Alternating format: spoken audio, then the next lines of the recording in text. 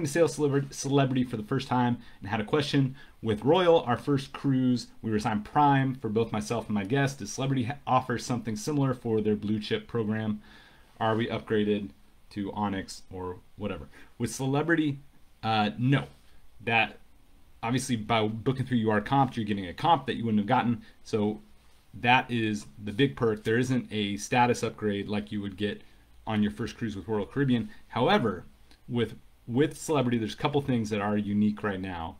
Uh, one is that they're doing a promotion for the always included package, which is uh, a lot of our bookings, most of our bookings have have that right now, which is all inclusive. So that's a huge perk, right? Because Prime, one of the big benefits is you get free drinks in the casino.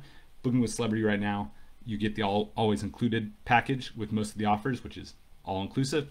Even when even if the offer does not have the always included package, players in the casino while they're playing do get free drinks. So if that free drinks while drinks while you're playing is something you care about, then you're gonna get that. They just don't do the automatic casino tier status upgrade on your first cruise like Royal Caribbean does. Royal does on the first trip, and then you earn prime status from there.